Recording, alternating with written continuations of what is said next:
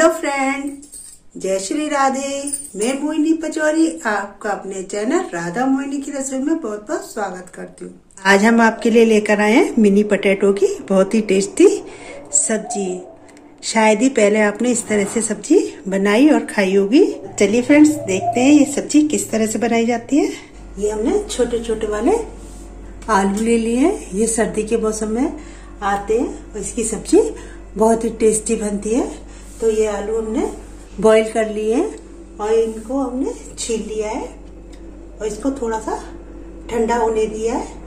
तो ये हमने मिनी पोटैटो ले लिए हैं। इसके लिए हमने एक रफली प्याज काट लिया दस बारह लहसुन की कलियाँ ले ली हैं। एक हरी मिर्च ले लिया जो रफली हमने तोड़ लिए और ये दो टुकड़े अदरक के ले लिए और ये हमने दो टमाटर ले लिए इनको रफली काट लिया है।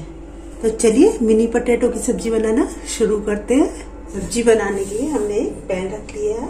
अब हम इसमें डाल देते हैं एक चम्मच मस्टर्ड ऑयल आप जो भी कुकिंग ऑयल पसंद करते हो, वो डाल सकते हैं। ऑयल को हम अच्छे से गर्म होने देते हैं। ऑयल हमारा गर्म हो गया है तो हम इसमें डाल देते हैं आधा चम्मच जीरा।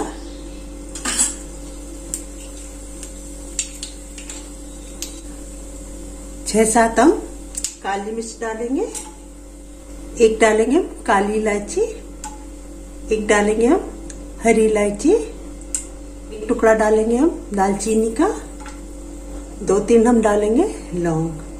अब इन सबको भुनने देते हैं और डालेंगे हम एक तेज पत्ता जिसको हमने तोड़ लिया है।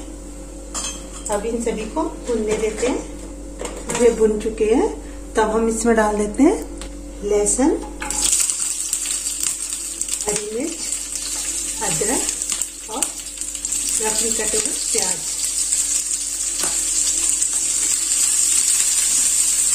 अब हम इनको थोड़ा सा ट्रांसपेरेंट होने तक भून लेते हैं।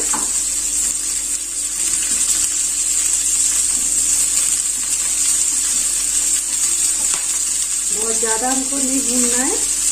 एकदम गोल्डन ब्राउन करना केवल ट्रांसपेरेंट होने तक भूनना है प्याज हमारी ट्रांसपेरेंट भून चुकी है तब हम इसमें डाल देंगे कटे हुए टमाटर टमाटर हमारे सॉफ्ट जल्दी हो जाए तो इसके लिए हम डाल देते हैं थोड़ा सा नमक तो ये हम आधा चम्मच नमक डाल रहे हैं अब इन सबको मिक्स कर देते हैं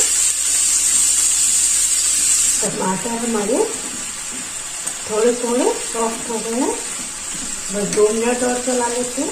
टमाटर हमारे सॉफ्ट हो गए हैं। गैस की फ्लेम को कर देते हैं बंद। प्याज टमाटर को ठंडा होने देते हैं। उसके बाद इसको ग्राइंडर में डाल के ग्राइंड कर लेंगे। जब तक के लिए इनको ठंडा होने के लिए छोड़ देते हैं। प्याज टमाटर हमारे अच्छे से ठंडे हो चुके हैं। तो एक मिक्सी ग्राइंडर में इनको डाल के ग्राइंड कर लेते हैं। तो देखिए, प्याज टमाटर का हमने बारीक पेस्ट बना लिया है। तो चलिए, मिनी पटेटो बनाना शुरू करते हैं। एक पैन रख लिया है। अब हम इसमें डाल देते हैं एक चम्मच मस्टर्ड ऑयल आप जो भी कुकिंग ऑयल पसंद करते हो, वो डाल सकते हैं। अब ऑयल को हम अच्छे से गर्म होने देते हैं।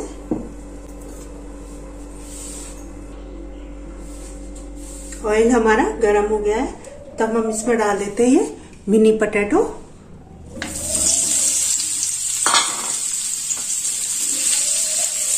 अब इनको हम गोल्डन ब्राउन होने तक फ्राई कर लेते हैं।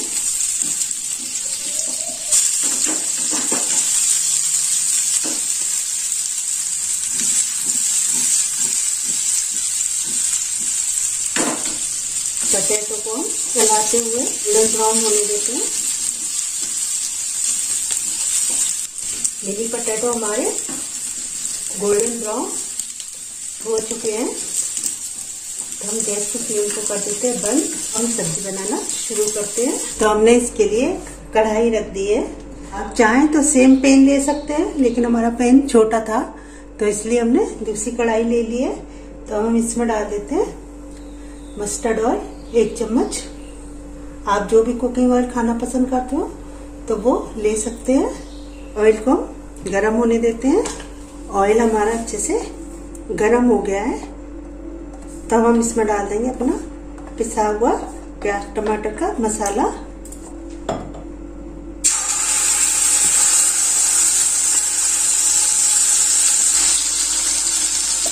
मसाला हमने डाल दिया है। तो हम इसमें डालेंगे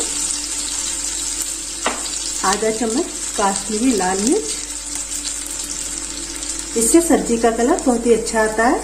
अब हम इसमें डाल देंगे कुछ बेसिक मसाले। तो ये हमने लाल मिर्च पाउडर ले लिया है, स्वाद अनुसार।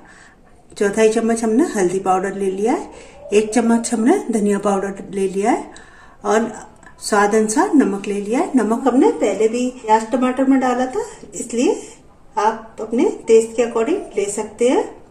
तो हम इन सभी मसालों को डाल देते हैं। इन सभी मसालों को हम अच्छे से भून लेंगे। मसालों को हम जब तक भूनेंगे, जब तक कि मसाले तेल रिलीज़ ना करने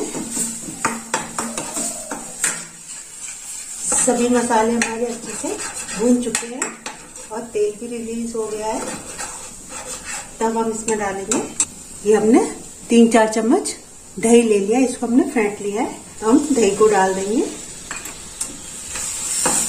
दही को भी डाल के मसाले के साथ भून लेंगे। मसाला हमारा अच्छे से भून चुका है और तेल भी रिलीज़ हो गया है। तब हम इसमें डाल देंगे अपने फ्राई किए हुए मिनी पटेटो। अब इनको हम अच्छे से मसाले के साथ मिक्स कर लेंगे। पटेटो हमारे मसाले के साथ अच्छे से मिक्स हो गए हैं। तब हम इसमें डाल देंगे।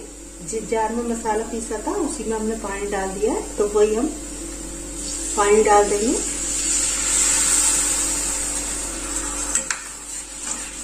कर देंगे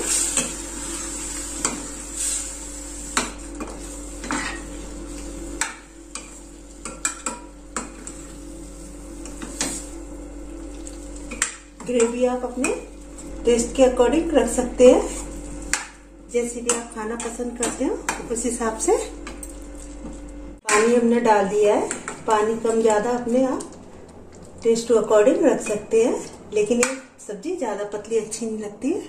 लेकिन पानी थोड़ा सा ठीक डालिए, क्योंकि ठंडी होने के बाद सब्ज़ी गाढ़ी हो जाती है। तो हम सब्ज़ी को पकने देते हैं, ढक्कन लगा के पाँच से सात मिनट तक स्लो फ्लेम पे बनने देते हैं।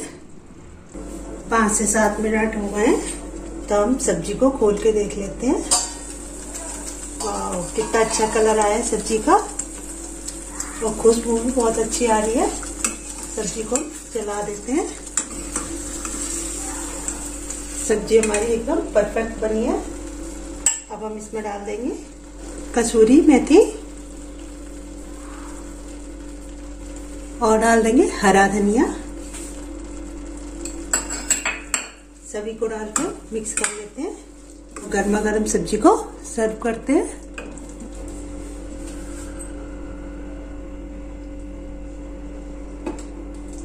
सब्ज़ी देखने में इतनी सुंदर लग रही है तो खाने में भी में कितनी टेस्टी होगी।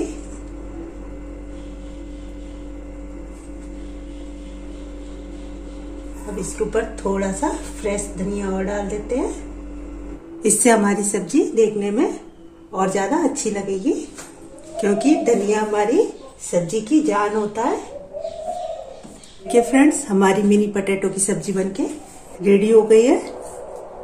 हम मिनी पटेटे की सब्ज़ी को पुलाव, चावल के साथ, रोटी के साथ, पराठे के साथ, नान के साथ,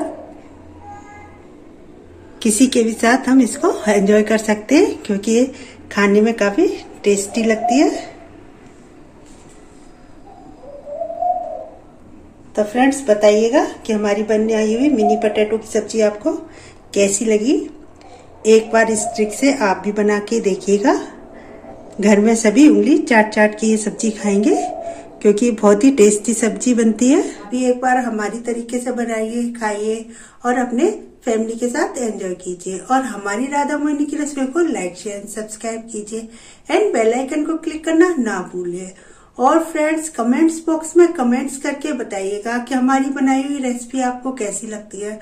तो चलिए फ्रेंड्स, फिर से मिलते हैं एक और नई रेसिपी के साथ। जब तक ले टेक केयर Bye bye.